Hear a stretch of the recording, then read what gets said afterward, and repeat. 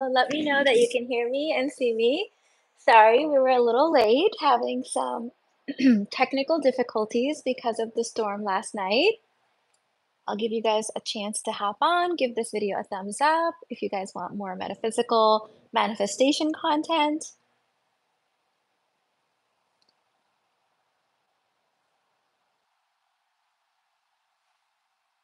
Yeah? Okay, I think I'm live. Is it stuck? Okay. Yay! Thank you, thank you. Today what we're talking about is my manifestation secrets and I'm what I've decided to do is I'm going to take one secret at a time and really deep dive into it with you because the thing is that sometimes I see people trying to take someone else's method and copy it exactly but if they don't know the underlying reason for why that thing works for that other person and not for them it's not going to work, right? So today what I want you to tap into is here's the the um, the saying, the affirmation, the mantra, the core belief is I'm open to receive in any and all ways. This is very very very very important, especially if you're trying to manifest it the way I've manifested, if you want it in all areas of your life, if you don't want to put a ceiling on your miracles, you have to get this core belief correct.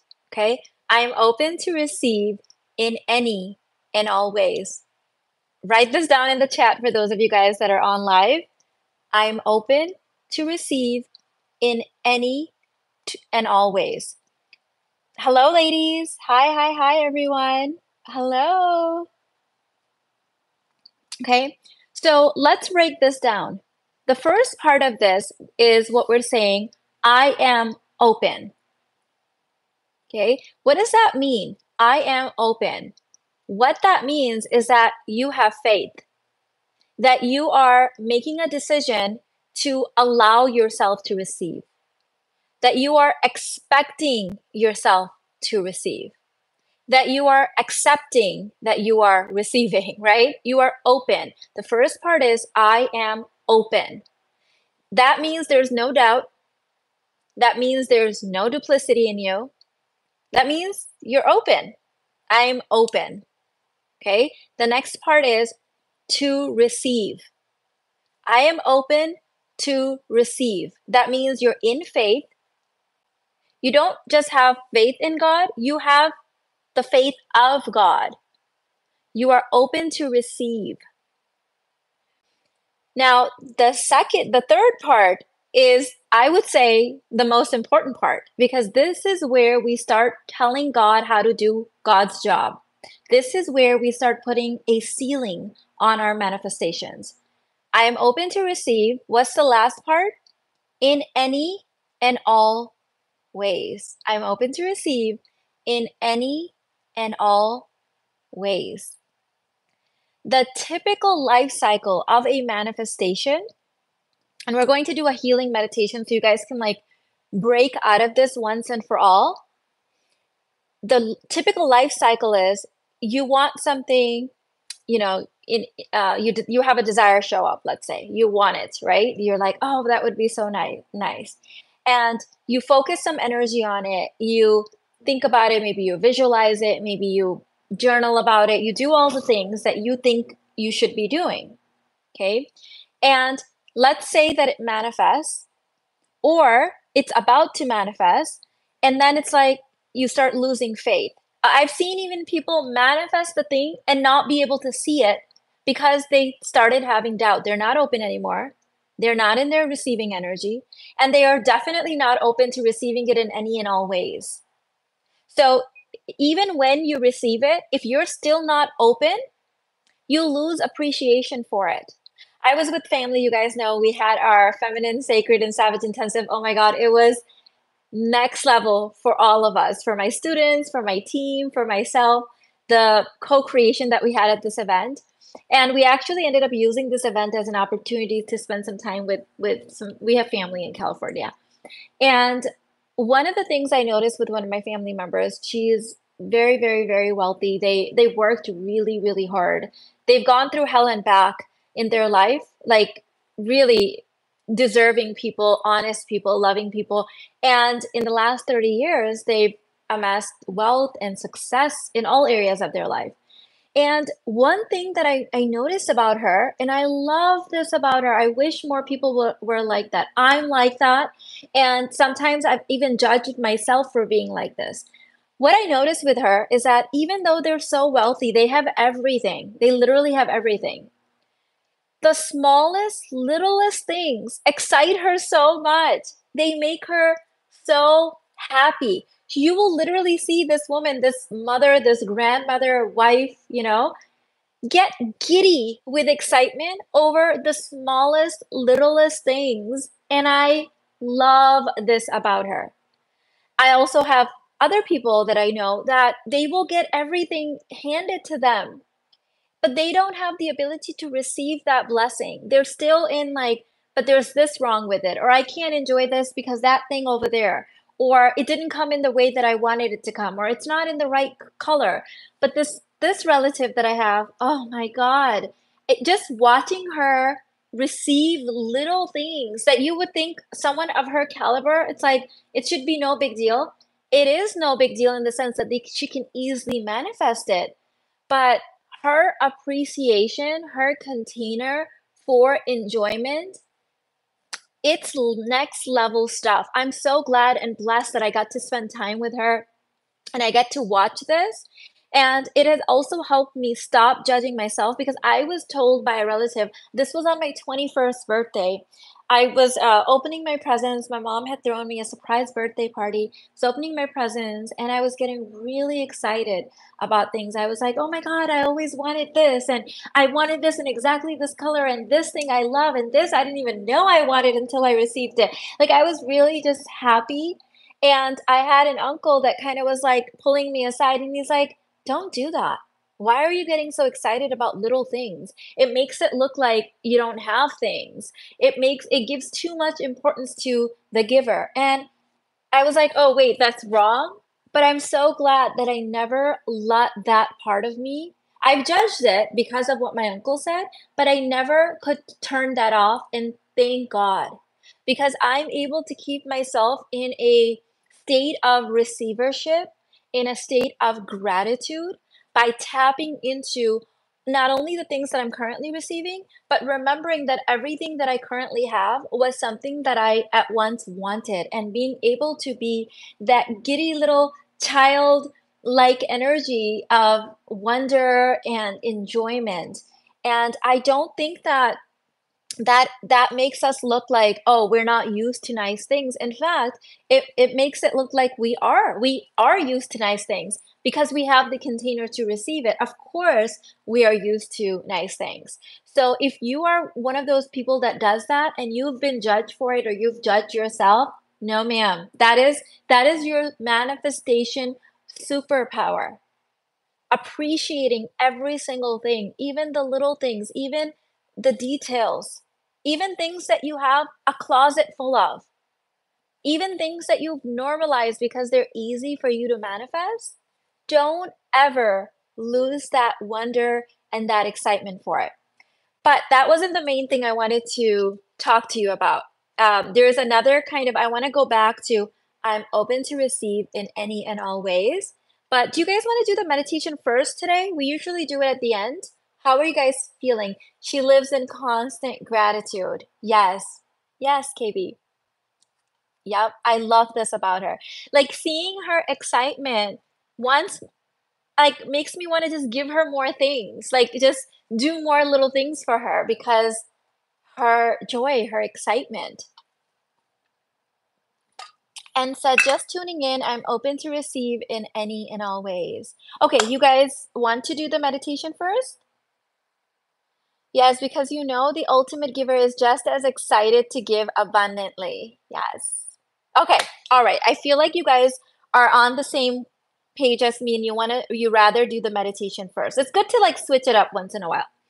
So, let's do that. So, today's meditation is I want to title it feeling safe to receive. I had put something else on there, but I feel like that's what's coming up for me now. What I had put initially was there's no price to pay. for receiving, but we'll tap into both of that. So I want you to relax. If you have water, please drink a little bit. If you guys come to my live streams, or even if you're watching the re replay, make sure you're well hydrated because when we do these meditations and we do these energy healings, if you're not hydrated, if your body is kind of in a state of dehydration, which, you know, we're if we're drinking coffee or, you know, we forgot to get our water intake for the day or we're not taking our electrolytes, the energy doesn't flow in. Everything is sort of like in a state of dryness. Like, really think about this. Like, think of the flow and the hydration of the river, of the ocean, of the cosmos. Like, look at what it signifies, right? So, make sure that you are really hydrating yourself. And no sodas and co- coffee and all of that doesn't count because it can actually have the opposite effect. So make sure you're drinking just pure, clean, filtered water. Sometimes I do like to add a little drop of electrolytes or magnesium to it as well. Uh, but right now I'm just drinking plain filtered ice water. So we're going to close your eyes, uncross any fingers, any legs, uncross everything. Be really open to receive. Posturing is really important. And we're just taking some deep breaths, not forcing anything, just getting into a natural state of relaxation.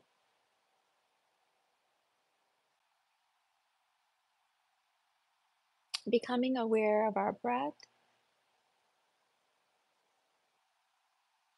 Becoming aware of our body.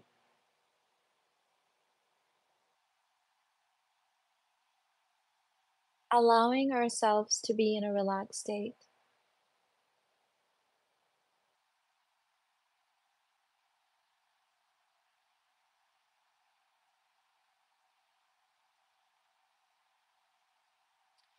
And just becoming aware of the question as God is looking onto us, as God is watching, what is our posturing saying right now? Does your forehead look like it's ready to receive? Is it open?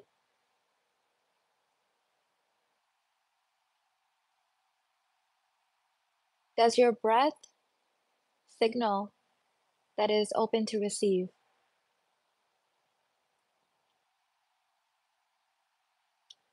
Is the way that you are carrying your head on your body right now, the posturing of it, signaling signaling that you are open to receive. We're just becoming aware without judgment. If it's not, well, could you make it more open to receive in this moment? Instead of maybe being down, maybe you hold it up a little bit with pride, with knowing, with faith that it is open to receive. And I want you to come down to your chest. Is your heart open to receive?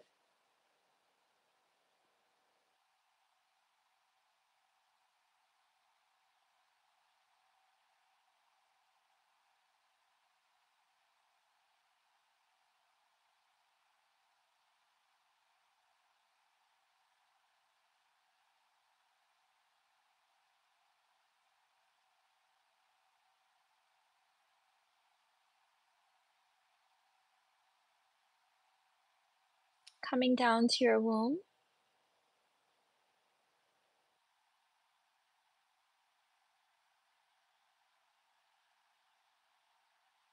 Or just your solar plexus if you are a male. What is the posturing there? Are you signaling that you are open to receive?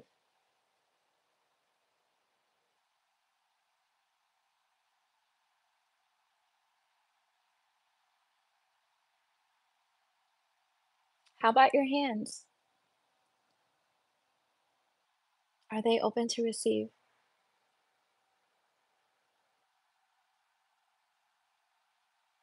What about your feet? Are they pointed straight, excited to take aligned action in any way that God asks? Are you truly open to receive in any and all ways?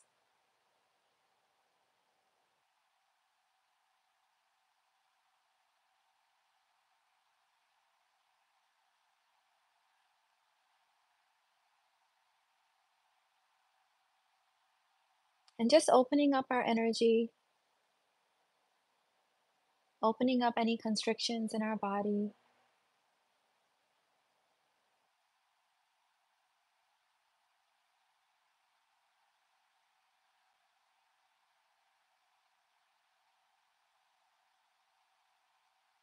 Knowing that it is safe to receive. God doesn't have any fine print. There's no price to pay. There's no suffering. You do not have to go through hell to get to heaven. You get to have your blessings, the health, the joy, the abundance, the love, the relationships, spirituality, the dream career, business, babies, the house, the car, the wardrobe, and it's safe to receive all of this and more.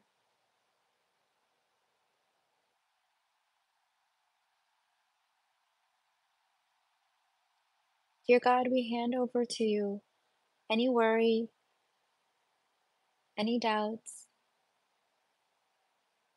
any fears, any suffering that we believe will come as a result of our man- manifestations, of our blessings.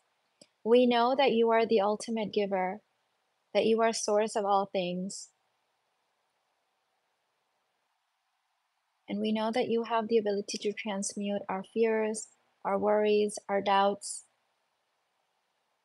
into abundance, into blessings.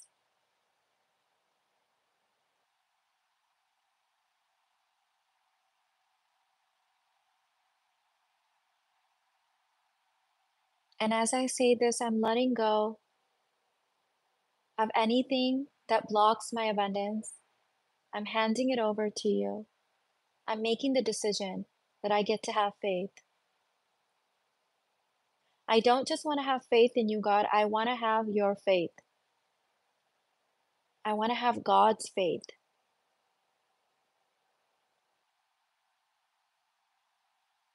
That everything is always working out for me. That I'm always divinely protected.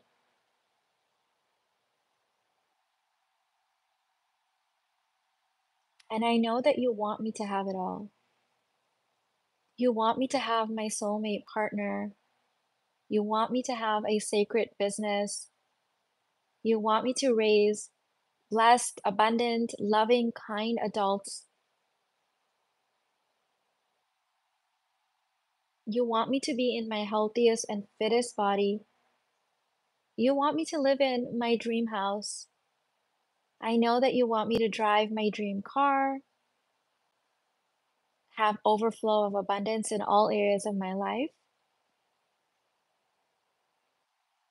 Just like you have provided for us in the sunlight, in the information downloads, in the oceans, rivers, plants, trees, the moon, everything.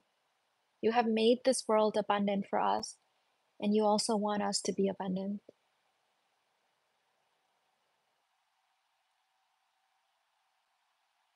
And dear God, with this, I am healed of any distortions that have been created in my field through others, through fear, through the wrong grids. And dear God, I only re- want to remain plugged into your grid, into God's grid. With that, God, please return to sender what is no longer mine, what doesn't belong to me, what was never mine to begin with. Any fear, any doubts, any worry, any anxiety, return to sender. And I call back onto myself energy that I have lost and leaked and let go accidentally that belongs to me, my knowing, my faith, my divinity, my sacredness, my savageness, all of it coming back to me.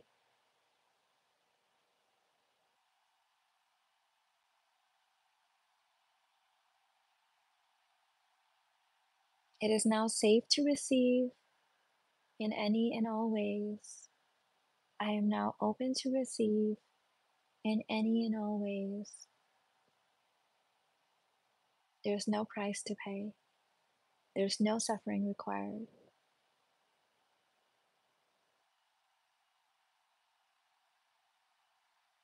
And so it is. Whenever you're ready, open your eyes, ground yourself, look for something with feet, or you can put your own feet on the ground. Sometimes when we go into like the 4D and 5D, if we don't ground ourselves, we can become a little like uh, airy, a little dizzy. So we want to always ground ourselves. You can look at the feet of your table, your chair, your bed, or put your own feet on the ground touch something in your physical reality. Super open, God Goddess said. Return to sender. Yes. You're so welcome. I feel expanded now. Yay. Love it. Oh, Kitty said my rotation says that about me. It makes them do 100x for me. They love it. Love it. Awesome.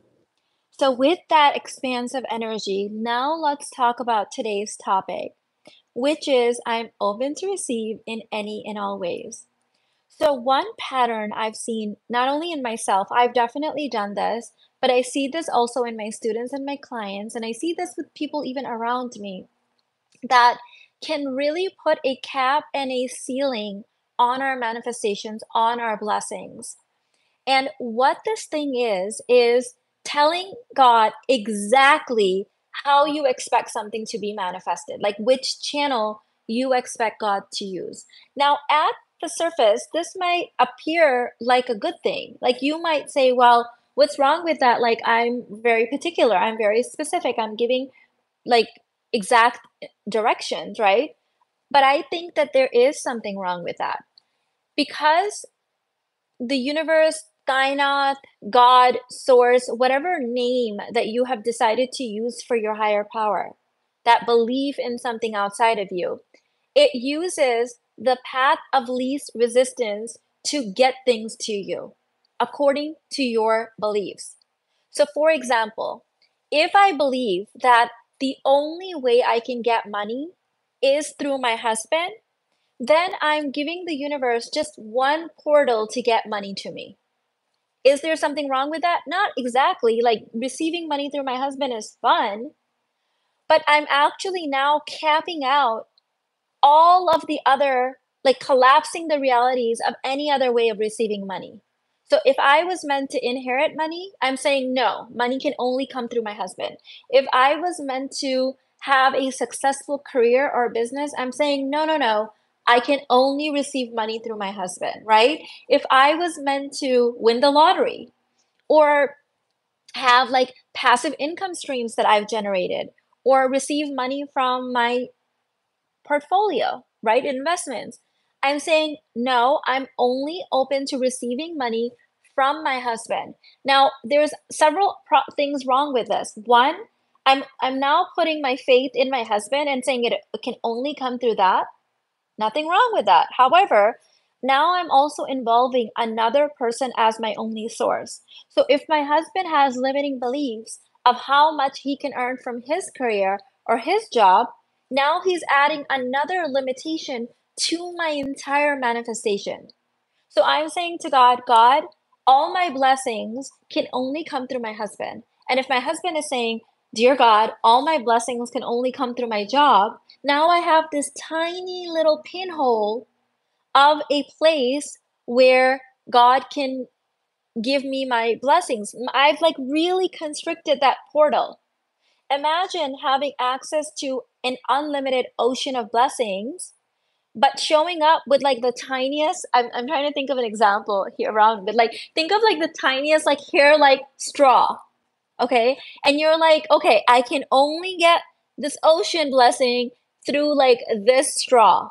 Well, the universe is trying to get it to you, but you're the one that like literally showed up with the tiniest, skinniest straw in the universe. And now you're wanting it to be channeled through that. We do this in so many areas of our life. I have been doing this particular inner work for 17 years. And let me tell you, let me tell you how it's worked in my life. When I started this inner work, this law of attraction manifestation 17 years ago, I was like, okay, I want to be open to receiving in any and all ways. And so I did inner work around it. I would find myself saying things like, it can only come through this, or it can only be like this, or I can only earn this because this is my education. And, and then I would say, no, no, no, no, no. I'm open to receive in any and all ways. And then for like six months to a year, blessings would flow through me through like so many different channels. And then I all of a sudden I would realize, oh my God, in this little tiny area of my life, I'm still saying to the universe, you can only come through this little tiny pinhole. like, oh my God, I can't believe I didn't notice it. So I would like do inner work around that rework my my beliefs and the inner work that i did around that was it, it's in my lady balls book it's the it's also in the basic babe bundle it's the six step process right the six step manifestation process so i would do it around that and i would open up and i would receive even more blessings and even more like joy and even more abundance let's say for another six months to a year and then i would notice another area of my life where i'm like overlooking the fact that i'm constricting it. So sometimes it we have to do this inner work in a lot of layers. And the reason for this is is because we're constantly receiving signals from our environment, signals from our family and friends, signals from society that says, "No, you can only receive this much because of this job. You can only receive this much from this thing." And it negates our faith. It negates our belief systems because we're introducing doubt. We're introducing duplicity. Where is our faith that God is the ultimate giver? You think God is limited in how and when He can give to you? Of course not.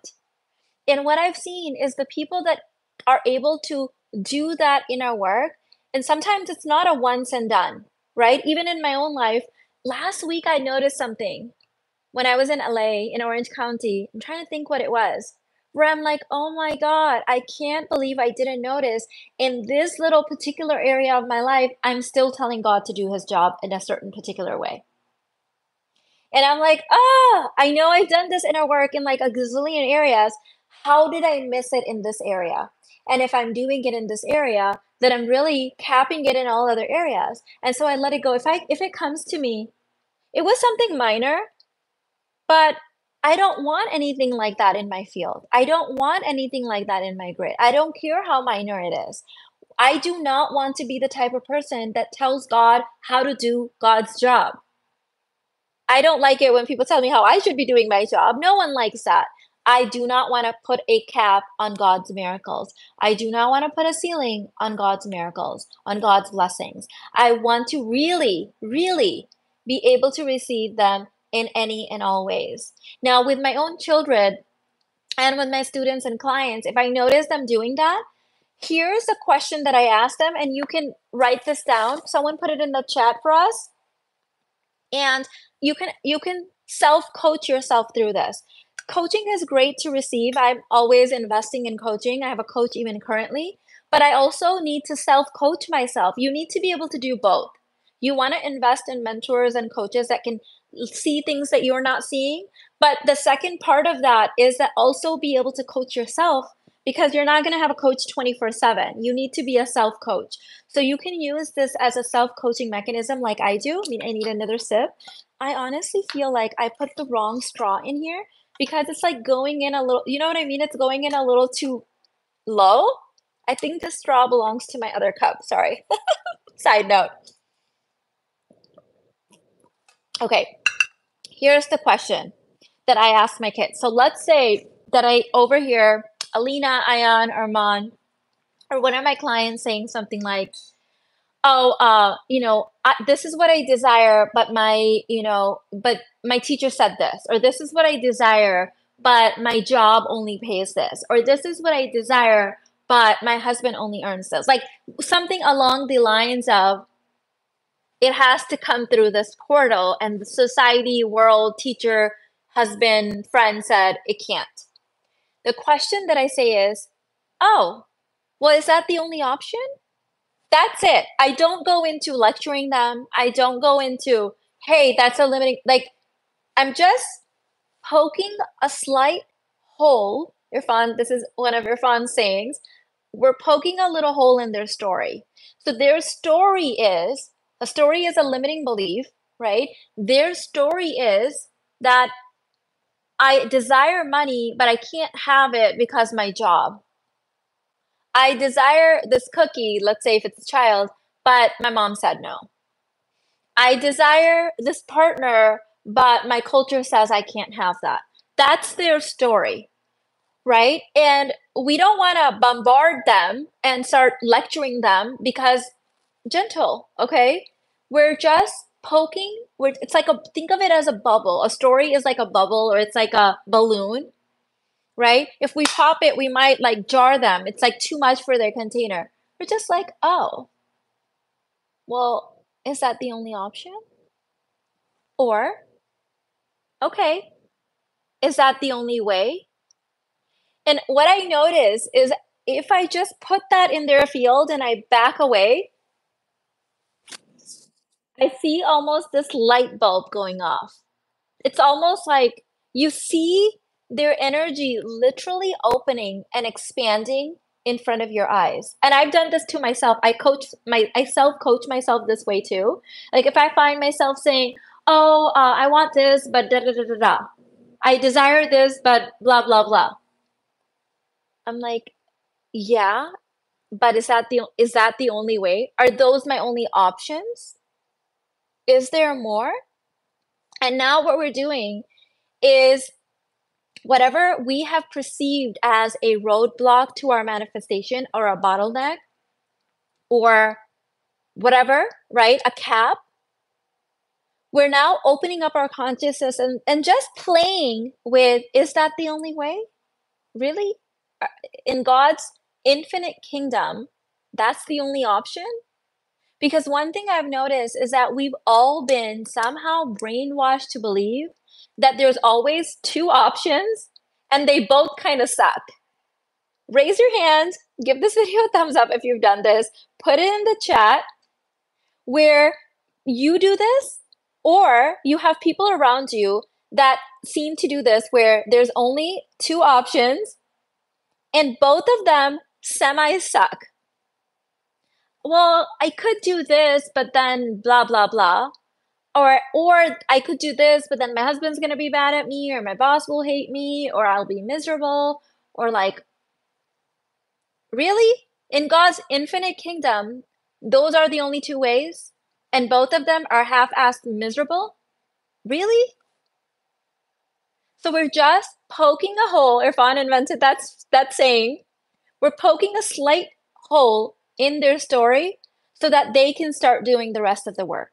We don't even have to give them the other options. We don't we might not know all the options that god has available for them. We're just kind of putting that in their field that they're limiting themselves unnecessarily.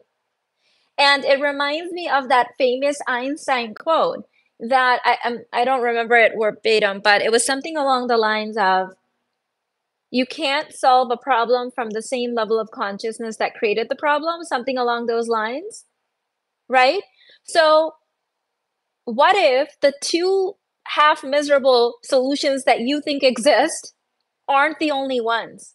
What if there's an infinite number of potentials that could manifest your desire and a whole host of them, thousands, millions, trillions of them, do not suck?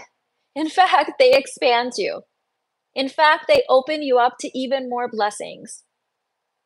Okay. So we all do this. Like I said, I literally caught myself doing this in, in Orange County on our trip. This trip was like, there's life before this trip and after this trip. So much expanded, so much manifested. my container was like literally like ripped open and expanded through this trip. And I feel like right now I'm in that like deconstruction, deselection process where a lot of things that no longer match my new higher level frequency is falling away. It's deconstructing because those things are no longer a vibrational match. They are not of God anymore. They are not in resonance with my new field, with my new vibration, with this new level that I'm going at. So when you say, I am open to receive in any and all ways, are you really? No judgment, just we're poking a hole in our stories. Enough of a hole that God's light, God's abundance starts flowing in through that hole. You only need that one hole of faith, of questioning your old ways, of questioning your limiting beliefs to let God's light in. That one little pinhole that I just poked by saying, Really? Is that the only option? Those are the only two miserable options. Like God wants you to have blessings, but through misery, through sacrifice, through giving something up? Really? That's all I said. And all of a sudden, your wheels are like, wait a minute, are there any other options? Now you're starting to open yourself up. Luckily, because I've trained my kids, because I ask them these kind of questions, they also do the same with me. My husband does that with me. My team does that with me. We need people in our life that share this vocabulary, that share this inner work. And I'm actually, I want to do a live stream for you guys. Maybe that will be the next one where I want to share with you certain things that I want you to gently and lovingly train people around you to understand. Because when I've trained my children by asking them this, when I'm doing it, when I'm having a very human moment and I'm like, oh, I could do this, but that's miserable. I could do this, but then I'll have to give that up. They're like, really, mom? Are those your only options? I'm like, oh, no, there's more options. I might not know them right now at this exact moment, but the fact that I'm even starting to question my dilemma of like this miserable thing or this miserable thing, I'm now opening myself to say, wait a minute, that can't be it. God's infinite kingdom cannot just have these two miserable options. There's got to be more. There's I know that there's more. Okay? So, let me let's do a little bit of a Q&A check-in with you guys and then we'll see whatever else channels through. I, I feel like my best work is channeled through when you guys ask me like really expansive questions. And many of you guys have said that as well. So let's do that right now. Oh, quickly, I also want to mention I'm enrolling for my new course. Um, it's called Kainaat. there's two more days left of uh, it's like a secret offer, meaning the rest of it hasn't downloaded yet, so I haven't put it on the sales page. By next week, I'll have more information about this. Like I can feel it coming. So right now, the price is like the pre-order, like unknown offer, secret offer. What I do know about it is it's called Kainaat, and in my uh, like my mom's language, my parents' language in Urdu, Kainaat means universe, all that is, and it means everything, everywhere, all at once kind of thing, like source, like ultimate source. And that's what's coming through in this course. I also keep seeing the number six, so I think it might be six trainings. I don't I don't have all the information. You guys know I always get things in bits and pieces. So that's why I have it on a secret offer pricing. Many of you guys have signed up. University bundle students, listen up. This is bonus in for you guys. So it will be included. So if you are a university bundle student, don't purchase this. It's going to be included for your package. Okay, let me see what you guys are saying. Okay, so Paula, hi Paula. Happy to see you again.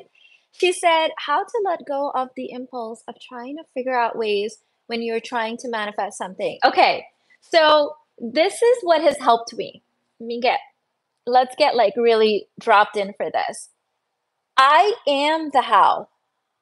So I know we try to figure out the how or the ways, but how I see it is I am God's how.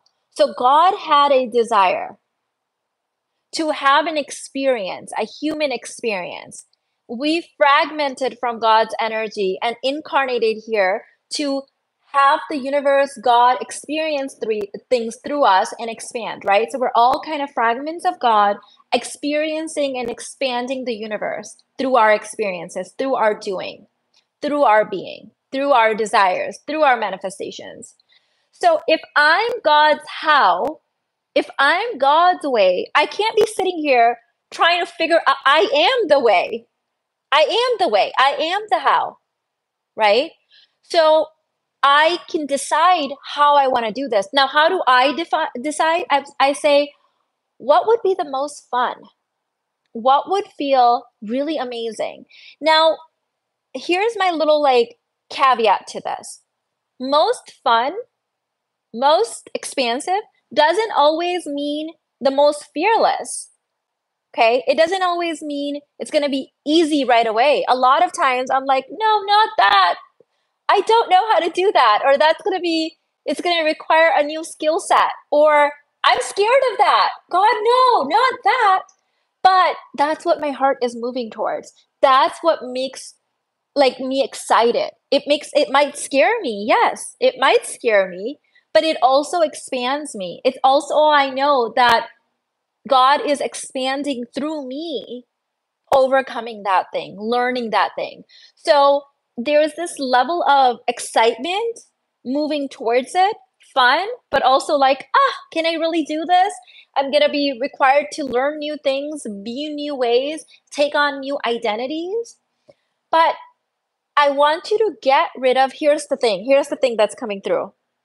Stop thinking that there's only one way and stop thinking that there is a wrong way. You are the way. So, whatever you decide is the right way, and you start moving towards that, and you start taking aligned, inspired action towards that, that's the way. You are the way. Is that really sinking in? I'm going to keep saying it. Some of you guys say to me that you've heard me talk about something a million times, but that millionth and one time I say it in a different way and it sinks in even my team says that to me that I know you've said this a million times, but that one time that you just said it in the live stream, it hit me or it expanded everything else you had said. So I want to keep saying it in new ways, but you are literally the way.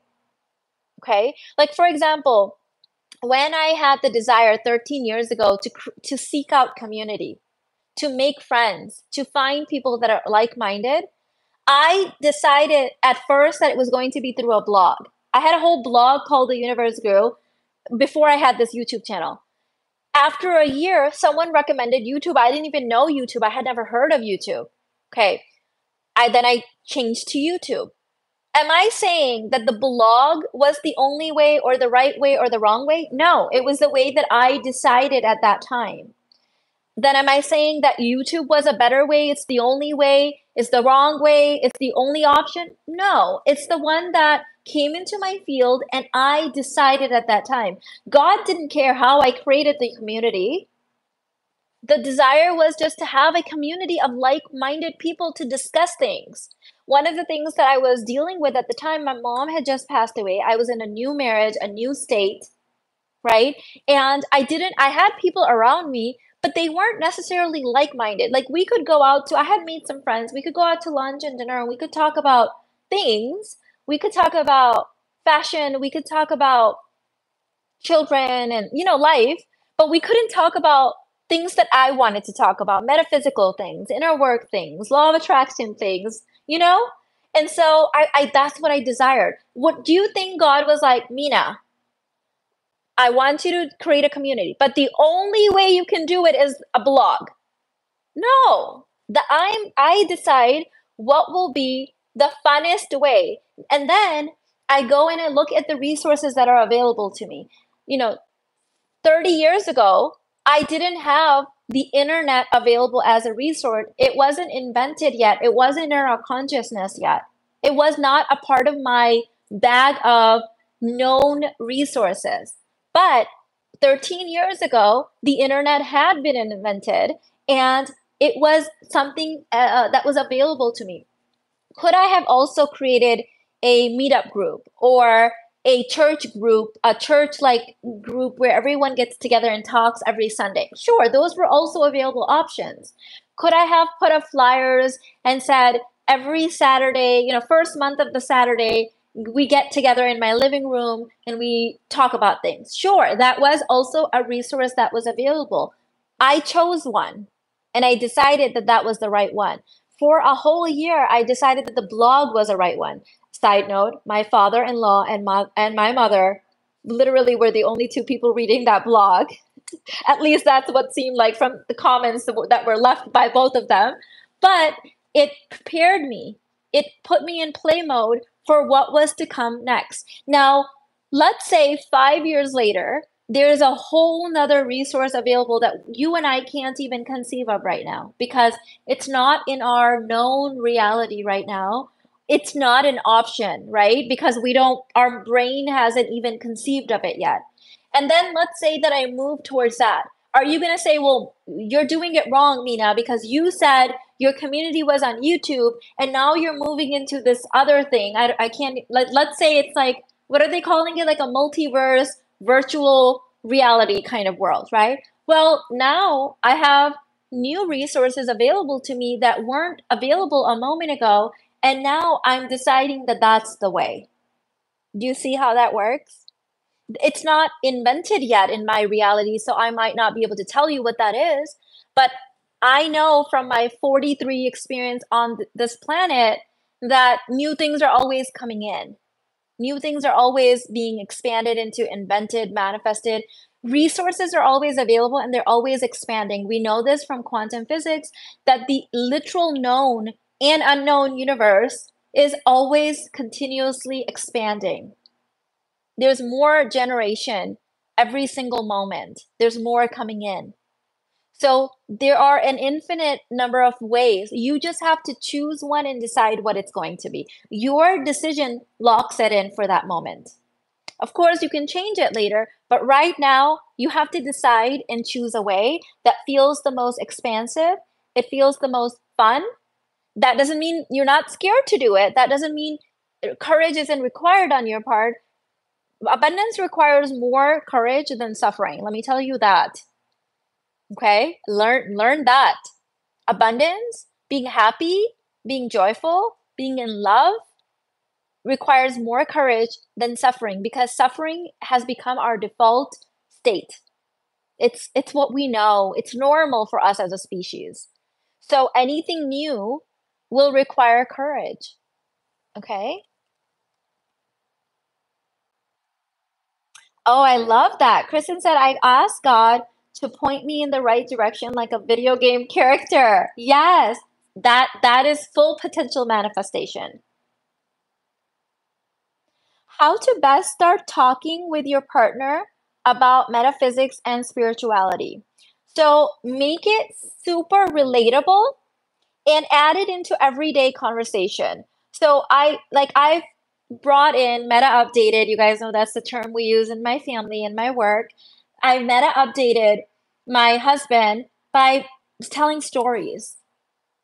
By just like instead of calling it spirituality or metaphysics, we do now, but I'm saying when we first like started introducing that stuff into our marriage, I didn't, you know, he's a man, a masculine energy man he thinks more in the world of logic and rationality, right? My husband's a math guy, is a physics guy, engineer, super like left brain, right? Like, so I, I didn't go to him and be like all woo woo in his face, but I would tell stories and incorporate things, right? And then, like, for example, if I read something in a book and I would say, Oh, I read this concept. What do you think about this? And then we would have a discussion about it. So introducing it in everyday life. I I really want to do that video for you guys. Let me write that down because I feel like there's certain things the number 5 is coming to my mind, but maybe it's more than that. There's like 5 or 6 things that if you can slowly, gracefully introduce these concepts to people that you interact with often, whether it's coworkers, family members, your partner, your children, friends, slowly introduce them and make it a part of your regular everyday jargon, not in a preachy way, not in a I know something I'm up here and you're down here way, just like, hey, um, you know, look at look at this story or look at this thing, this and this concept. I feel like it will really truly enhance relationships. Maybe that will be tomorrow's. So tomorrow's Thursday. You know how I've been doing a video every Monday and Thursday, a recorded video at 8 a.m. Tomorrow, I'm really feeling like doing a live, so I might make that tomorrow's live. Let me know if that would be of interest to you guys because I think that if you can introduce this to people that you interact with often, it's really going to enhance your relationship. I know this because I've helped my students and clients do this. And even in our in person intensives, a lot of people say that the biggest value that they receive from our in person events is the fact that they meet other people there that speak their language. They understand container issues, they understand couple bubble, they understand divine union, they understand inner work, shadow work, all limiting beliefs, all of these things, right? Uh, yes, do a live. I need to hear this. Okay. Yes, yes, please. Yes, that would be great. Yes, please. Okay. Awesome, Misha. Uh, Erica, Paula, Christian, thank you, thank you. I'll be there if you do a live. Awesome, Diane. Hi, babe. How are you doing? Yes. Okay. I'm so glad there's interest. Um, I'm also, I want to teach you how to do it tactfully. There is a way to share information that repels people. I used to be a self-aware Barbie and I used to share it in that way. I, I cringe thinking about it because I'm embarrassed that I used to do that. Like it's super embarrassing that I was like trying to stuff it down people's throat. And I know that I was t- definitely in my repelling energy and not my magnetism era. There is a way to do it gently, softly, lovingly, fun, funningly, in a fun way that makes it attractive where people are like, oh, that's interesting. Tell me more. Or where can I read more about this? Or whatever, right? It's in a way that's an invitation, not kind of this chasing, I'm stuffing something down your throat kind of energy. We've all been there. We've done it and it's been done to us as well. Yes, please. I'm doing your million dollar babe course right now. This is exactly what I need. Awesome. Yes, that's a powerful spiritual course. So, so, so happy for you. Did I ever throw in the link for Kainaat? I have no idea. Ladies, we also have some spots left for Budapest. I'm super excited. That's our next in person event. It's called Berkat in Budapest. I'll throw that in for you too. How else can I support you? Any other questions? I need to keep time. Okay, I'm good. I'm good with time right now. I have an event that I have to go to and I need to I was supposed to wash my hair yesterday. I didn't. I washed it today. I don't like my hair the first day I wash it. So I'm going to have to throw in some curls in it or something for this event and glam up.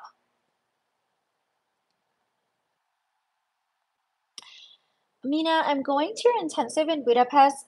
Do you recommend traveling with a husband? Sure. Yes, whatever feels good to you, right? If if you want to turn this into a, uh, a couples trip or a family trip, yes, that would be wonderful.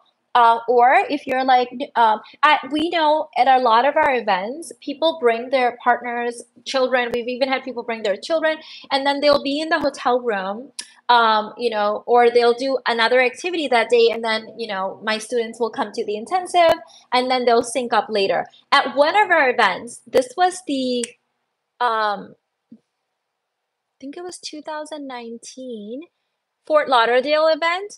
Uh, Irfan was co-teaching. I want to do another one with Irfan. That was really fun. I don't know why we haven't done another one like that, but it was so fun. So Irfan, I taught the first day by myself, and then the second day, Irfan, I don't remember if it was the full day or the second day he did a half a day. But anyways, there were like four or five people there that had come with their husbands, and their husbands were upstairs in the hotel room. And so when they found out that Irfan was going to also join me, they were like, well, if Irfan's teaching, would it be okay if we went upstairs and brought our husbands down? And I was like, yes, do it. Go get him. So they brought down their husband. We, we have pictures of their husbands there, and it was so good. And Irfan, um, you know, taught for a little bit, and then we opened up the floor to Q&A like we always do. And the husbands ask questions and I loved it. It was so fun to see these men there supporting their wives and asking questions and being interested in the content and asking for support. I wanted to cry thinking about it. And I need to do another one maybe the one after Budapest, um, it's coming into the field. Do another one where Irfan co-teaches it, and that way we can open it up to partners as well. That'd be a lot of fun. So yeah, um, you, so you know he can you can make it a couples trip, and he can do kind of a solo activity that day. You can come to the intensive, and then you can sync up and, and share with him the things that you learned. I love that.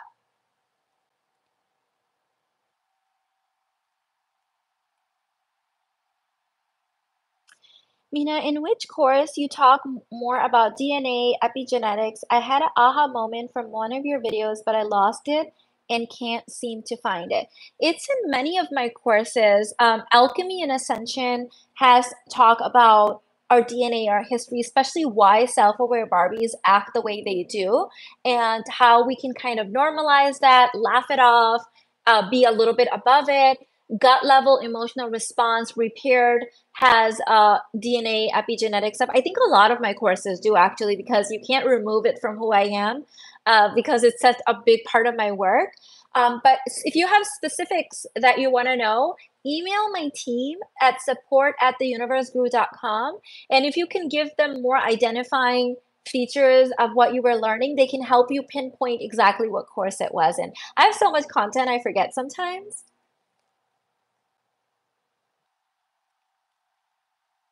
That sounds divine, Nina said.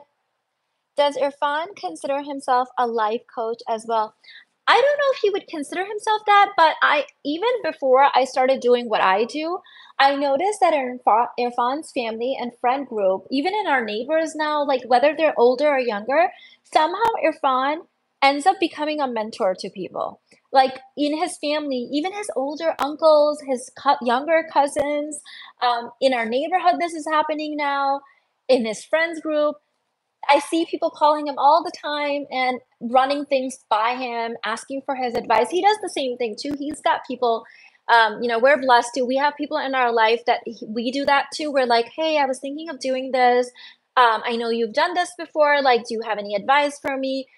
But a lot of people call him like every day like his uncles his cousins my family um, and so he definitely has that like masculine alpha male kind of mentoring energy. I know i i couldn't have done what i've built without him at all. Like i was just talking about this in orange county with some of our family members because they were wanting to know a little bit more about what i do and how we run things and i was like that's my rock. That's my support system. Like he's a major part of my team, my spiritual team, and just yeah. So I think he doesn't necessarily see it as a life coaching thing, but he has that energy about him, that like fatherly kind of uh, elder mentorship energy for sure. Let me see. Uh, yes, Mina, I have been struggling with how to speak to my husband without being preaching. Uh, yeah, I know what you mean. Um, my biggest advice, I'll I'll do that video tomorrow for you guys. I've written that down. Think of a fun ti- uh, title for it too for me. But here's the number one thing that has helped me, whether it's with students, whether it's with my husband, whether it's with my children, or even family members and friends. Storytelling. I think it's so evolutionary it's so grounded of how we evolved as a species. Uh, we you know there's so many amazing science of showing how why homo sapiens became the dominant species and why some of the other ones that were similar to us back in the day died off. And the number one thing is storytelling. They say that we were able to tell stories and band people together so storytelling, right? Um, there was one that we were just talking the other day. Let me see if I can remember. That would help you. But you know, I've shared a lot of those in my private courses, um, where I've like used storytelling to meta update my husband about something or my children. They're they're in there. I know you've heard them. trying to think, there was one that recently happened, and I was saying it to my husband. He He's like, "Wow, that's a limiting belief. She has a limiting belief." I'm like, "Yes." So I want my husband and my children to always be aware that human beings have limiting beliefs and no one's above it. No one's above it. Because if they're aware of that, then they're also looking at their own limiting beliefs. And they're, right? I'm not being preaching, I'm just telling a story. Yes, I remember this from your book talking about the levels of self-aware Barbie. Yes, my my my embarrassment era where I was like trying to convince everyone of everything I was learning and they were like, "Oh, no, you're not embodied. Get away from me." That that era. Alexandra said, "My husband is super curious about what I'm learning, but when I share a bit, he looks at me like I'm too woo-woo. I think I don't know how to connect him to these topics." Okay, come to tomorrow's live stream. If you're on my email list, I usually like uh, schedule the live stream and the, these master classes, and then I'll email it out. So um, make sure you're on my email list, and that link is in the description box always. But I'll throw it in the chat for you guys as well. That way, you know, okay, Mina's gonna go live at this time. The replay, play, of course, will also be available. And remember that the way you receive information as a feminine identified woman or man, we have men that follow us that are more feminine identified is not how the masculine receives information. So there is a tact, there is a grace to how you want to say things for sure. If you try to say it the way I can freely share it to you, because you and I speak the same language, you and I resonate together. How do I know this? You found my work and you like my work, you resonate with my work. We're soul family. We speak the same verbiage, the same frequency, the same resonance. Well, your husband might not speak the way I speak to you guys, right? Like if you go to your husband and talk about my guides and spirituality and chakras, that's not the way that he metabolizes and digests information. So you as his wife need to know how he is. You need to be curious about his makeup and how he metabolizes stuff and share it with him. Okay. Like I joke about this and I say this with the most love, but my husband metabolizes information when it's his idea. So a lot of times I have to tell a little story or say something in a certain way, back off from it. And two days later, three days later, he might be like saying the same thing back to me, but like saying it like it's his idea. Like in the past, the self-aware Barbie mean I used I used to get triggered by that. I talked about that in uh, the Orange County Intensive, I used to get massively triggered by that. And I would get upset and I would be like, oh, he's stealing my ideas or he's ignoring me. When I said that, he ignored me or he said no, and now he's claiming it's his idea. Then, as I got to know my husband more and his intention and his heart, and I started doing it at work, I'm like, first of all, it doesn't matter whose idea it was as long as I got what I wanted, right? And secondly, I know that he's not a malicious person. Like Irfan is not like that. He doesn't have one like bone in his body that's malicious or or like that, you know? So I'm like, oh, he needs to make his ideas, the ideas his own. He needs to he needs time to process. He might not agree with what I'm saying right that moment. He might need time to metabolize it, digest it, and 3 days later he might show up and say, "Oh, I was thinking about this." I'm like, "Oh, I wonder who planted that in your consciousness. But I'm just like, great idea. Yes, I would love it. Let's do it. It doesn't matter whose idea it was. He needed time to make it his own. Oh my God, you really get it. Ah, yay. I'm so glad. Um, Mina, have you heard of Neville Goddard's manifestation technique called the ladder technique, where you repeat what you want using not and I don't want in order to release obsessive wanting? So I have had people uh, mention Neville Goddard, especially even some of the teachers that I followed, they have followed Neville Goddard's teachings. I've tried over the years, and for some reason, maybe I wasn't in the right frequency, maybe I wasn't at his level. Um, I've tried to get into it but I, it, it didn't resonate with me. Not that I'm against it. It didn't. I didn't understand it. I didn't have the consciousness IQ level to understand what he was saying. So I haven't studied him. I tried. I have all his books. I have uh, all the audiobooks, all the physical books. Recently, recently, I would say in the past week, there are some concepts that are now starting to make sense. I'm like, oh, that's what he was talking about. I didn't get it at that time, but it's like starting to seek in. Now, I've been able to manifest perfectly well without his teachings, but I feel like my next level, I'm at that level where I can kind of understand. This is what I wanted to say, and this is important. So thank you for saying that. Okay. I had every intention of discussing this and then I forgot. I got sidetracked. The whole point of any manifestation technique, whether it's mine or Neville Goddard's or Abraham Hicks or Joe Dispenza or what else, uh, Rhonda Byrnes or Bob Proctor or um, Joe Vitale, anyone.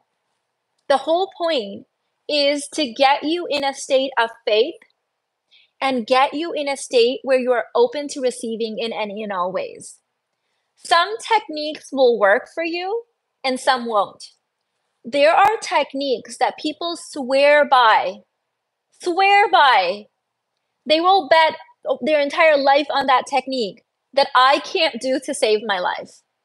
Because those exact techniques that work for them also do not elicit um, do not elicit faith from me it elicits doubt so i have tried very many different manifestation techniques.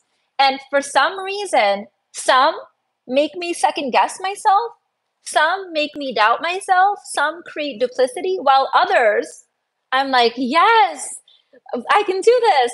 I believe i have no duplicity i have 100% faith. So, the best manifestation techniques for you will be ones that elicit the most faith, the most knowing, the most believing from your part.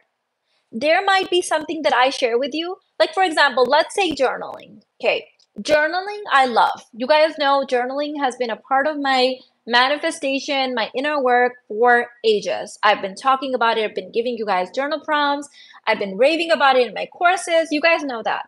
Well, there might be someone out there that tries that consistently, maybe for three months, six months, and they're like, no, Mina, every time I do journaling, I actually get into an energy of doubt. Okay, well, you know what I'm gonna say? You've tried that technique, don't do that one. What is the one technique that you know instantly puts you in faith instantly gets all of your energetic resources behind you it eliminates all doubt it eliminates all duplicity do that even if you don't see me doing it maybe i haven't discovered that yet or maybe that particular technique that works for you for some reason because of my unique stories my background my conditioning that might that same thing that works for you might elicit doubt from me so years ago Neville Goddard has a cult following. We know that. He is he's amazing. Years ago, when you guys started telling me about it, and I, I went and I bought all his books and I started studying it, it confused the hell out of me. Maybe I wasn't smart enough to get it, but I, I started studying it and I was just like, now I'm confused. I don't get it. I can't manifest all of a sudden. And then I'm like, hold on, hold on. I was manifesting just fine before I discovered this work. Maybe that work isn't for me. His techniques maybe aren't for me. Now, sometimes you guys, I'll say something, you're like, oh, that's Neville Goddard's technique. Maybe the way I'm doing it is his technique, but I don't understand it the way he was teaching it. Like, I, I'm sure a lot of what I teach has been influenced by him because I follow Joe Vitale, who claims that Neville Goddard changed his life. Joe Vitale's work has bits and pieces from Neville Goddard. So I have secondhand smoking kind of relationship with him. But that does, does that mean Neville Goddard is wrong? No. I might not just be at his level yet. So now for the past week, something in my heart is like, revisit that thing. I'm like, no, I didn't get it revisit it. You'll get it now. I'm like, okay. Like I just found out about this one thing and I was super excited about it and I told my team member and he's like, "Oh, that's Neville Goddard." I was like, "Oh, I didn't know that was from him." It's called the the Bridge of Incidents. I was like, "Oh, I didn't know that was his." But it's happened in my life. I heard someone talking about it. I'm like, "That's happened to me." Where I desire something and then this happens and then this happens and then this happens and then this happens and i don't know that i'm on this path to manifesting and then it manifests i'm like oh oh okay so the point of every single manifestation technique is to get you aligned with god is to get you in faith, is to get you in the energy so you can start downloading your next steps. Am I good with time? I need to just make sure I don't miss. I, I need time to curl my hair, get dressed, and go to this event.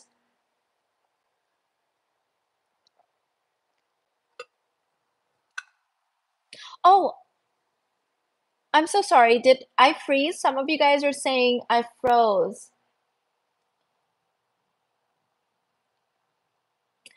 Uh, Uzma said that happens to me with most of your courses. I don't get it, and after six months, wow, that's mind blowing. Sometimes we need to be like kind of digesting the frequency for a bit. That's happened to me. Even you guys know I've been obsessed with the secret DVD for like 17 years, right? even to this day when I watch it, you would think by now I have it memorized, but that's not true. It's what's really freaky about that DVD is even to this day when I watch it, I hear things that I didn't hear the first gazillion times. Or I've heard something a million times, but I receive it in a new way. Uh, like when I'm watching it, I'm like, oh, and now I've been watching it in my gym. You guys know when I work out. And so sometimes Irfan or one of the kids are passing through, like, did you say something? I'm like, no, no, no. I'm just talking to my TV screen. And I'm just like, oh my God. Or wow. But it's it's kind of funny because I've literally watched it hundreds of times. Sometimes I'll even hear a teacher in there. I'm like, that person was not there before. I've never noticed them before, but I'm noticing them now because now my frequency is different and I will take from it exactly what I need today. Before, when I was watching it, I received from it exactly what I needed then. Okay. Same thing happened to me in 2018. I was in a Facebook group and someone was basically defaming and bad mouthing Abraham Hicks. I had never heard of Abraham Hicks. I had never heard of Esther Hicks. And they were going on and on talking so much crap about, and I was like, interesting. Who is this person that is eliciting so much triggering and hate from these people? So I Googled Abraham Hicks and I was like, oh my God, right? So I started listening and um, some things resonated some things just went over my head i didn't get it and but I st- I kept like going back and listening. This was in 2018, and then I had the opportunity to go and visit uh, in person. There was an event happening in was it in Austin or Dallas? There was an event. I think it was in Dallas, and it, that was three hours away from us at the time. So we're like, okay, let's go. So I went, and when I was there, it hit me. I got a huge download. I was trying to learn the law of attraction from Abraham Hicks, but I already knew the law of attraction. I had already been following it for like, you know, I think 12 years up until that point. I didn't need that. What the reason that that was placed in my field was so that I can learn to channel. And that was mind blowing. I'm like, oh, I've been focused on the wrong thing. I don't need to learn the law of attraction. I know the law of attraction. God placed Abraham Hicks in my field so I can learn to channel. And that's when I got really great at channeling from watching her. It wasn't necessarily what she was saying, it was how she was channeling. So sometimes it takes time for us to realize why we need to listen to someone.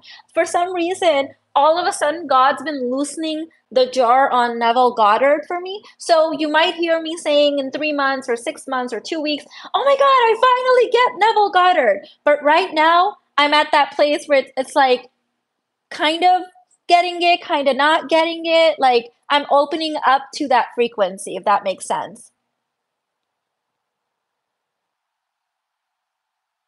Uh, Joe Vitale, he's one of the teachers from The Secret Movie. I'm going to try to pronounce it. You're not going to believe this, but so Joe, Dr. Joe Vitale used to live in Houston decades ago. And his one of his closest friends is my chiropractor and i, I was just so, so shocked to learn this so i went to my you guys remember that story i had posted on instagram i went to uh you know irfan found this chiropractor for us a couple of well about a year ago, I think. It's after we moved into this house. And um, I noticed that this chiropractor was very kind of like metaphysical and stuff. And then this chiropractor was a very like known published author. And so I bought one of his books. And then he told me he had another book. And I was like, oh, I would love to purchase your other book as well. That other book was co authored by Dr. Joe Vitale. And I was like, oh my God, this guy, you know him? He's from The Secret. And he's like, that's one of my closest friends. We, you know, used to be, you know, I, I don't know if they went to school together or something, but they, when he was in Houston, I'm like, oh my God, what a small world. And I feel like I was like supposed to reconnect with Dr. Joe Vitale through my chiropractor. So it was so interesting. But yeah, he's one of the, he's the one in the secret DVD wearing the black beads. You guys remember?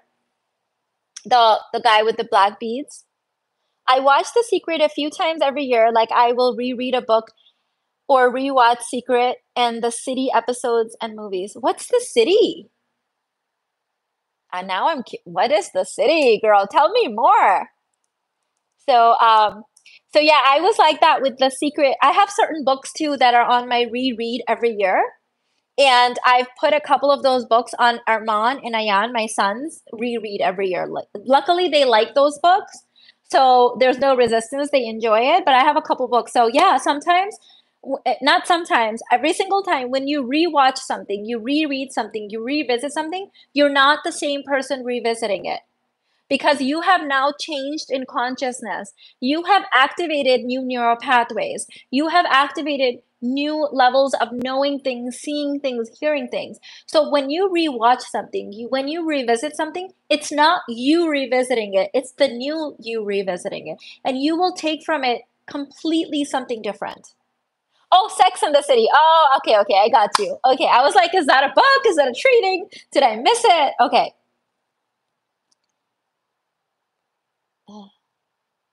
I revisited Paula said the Basic Babe bundle first exercise after the OC event, and this time I went on a way deeper, which made me aware of this new level of inner work. I feel is going to be a big shift and open me up so much.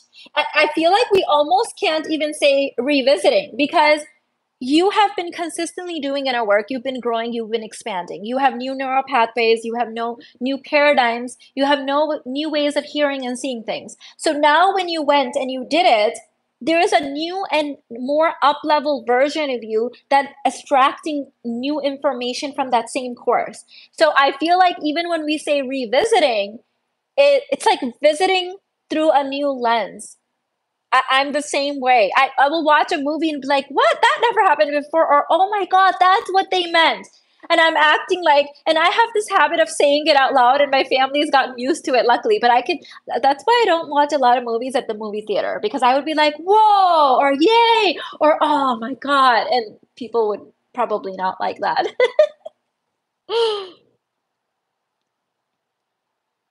I watched The Secret too, and the first seminar I ever attended was Mike Dooley. Oh, I didn't know he had seminars.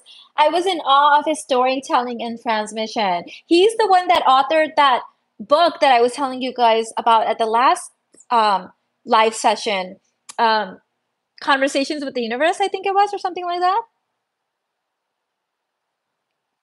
I found that I purchased books and courses sometimes years before I actually noticed needed them when I need it, I've seen, I've already got the resource. Kristen, that happens to me all the time. In fact, a couple weeks ago, I heard about this book. I, I can't recall the name right now, but I was like, oh, that sounds interesting. So I go on to Amazon and says, you purchased this book in two, 2028. And I'm like, wait, what? So I go on my Kindle and there it is, but I never read it. And and so I'm like, that's it's almost creepy and eerie, right? The past version of me it's like prepared and bought that book already. And I'm like, okay, well, I guess I should read that book now. Okay, past self, you you got me covered. But yes, this has happened to me a lot. It is just beautiful and scary and eerie and just awe-inspiring that God just has us covered. Like all parts of us, it's just the same part in different locations of time space. Yeah, it says, you know how Amazon says that? I'm like, oh, uh, 2008. Yes, the complete notes from the universe. Ladies, I'm gonna, I, I'm loving this conversation. I feel like I don't even want this to end, but I have to go because, like I said, I need to do my hair, finish getting dressed for my event. I love you guys so much. This was so much fun. Um, I watched Jack Canfield's YouTube live yesterday. Oh, I didn't know he had a YouTube channel. I've seen him live. He came to Houston, and I attended one of his um, in-person intensives. Everyone should follow, follow all the folks from The Secret. I agree. I agree. He was the chicken soup. Yep, I went to his event 2019, I think it was. Yeah, it was good. He came to Houston and it was a lot of fun. So, yes, love you guys. Uh, I mean, I just want to say the meditation that you did a couple of lives ago was mind blowing. The one where you saw the pink and gold, I saw the same thing and was in awe as I was following along. Amazing. I love that collective manifestation energy. Thank you so much, ladies. I will be back tomorrow. Um, I have a podcast interview and a meeting with Thinkific, but it's somewhere between that, I'm going to show up live tomorrow and we'll talk about certain things that I believe you should be gracefully and tactfully introducing to friends and family so that um, they can be on the same wavelength as you. Oh my God, yes, she caught the Holy Spirit. Thank you, thank you. Love you guys. Um, Kainaat, 48 hours before the pre order price goes away. Love you. We'll see you in the next one. Bye. YouTube did this really weird thing where they moved the end button when you end live stream to the other side where the camera is. And now when I'm ending it, it's like I'm showing up with my hands. Why couldn't they have left it here? Like, why why fix a good thing? Anyway, sorry. Bye. Love you.